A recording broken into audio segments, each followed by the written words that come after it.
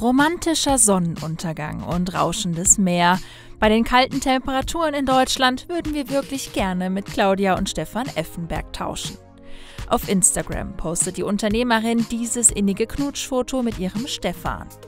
Die beiden liegen sich fest in den Armen und geben sich vor malerischer Kulisse einen dicken Kuss.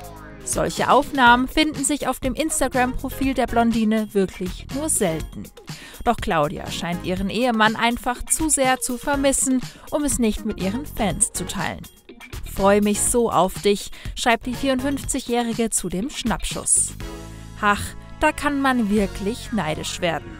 Auch nach 15 Jahren Ehe schweben die Effenbergs offensichtlich noch auf Wolke 7 und das soll ruhig auch jeder wissen. Der Schnappschuss stammt mit Sicherheit aus dem erst kürzlich vergangenen Familienurlaub in den USA, wo alle gemeinsam die Hochzeit von Stefans jüngster Tochter gefeiert haben. Gut nachvollziehbar, dass Claudia da wehmütig in Erinnerungen schwelgt. Bald liegt sie ja ohnehin wieder in den Armen ihres geliebten Ehemannes.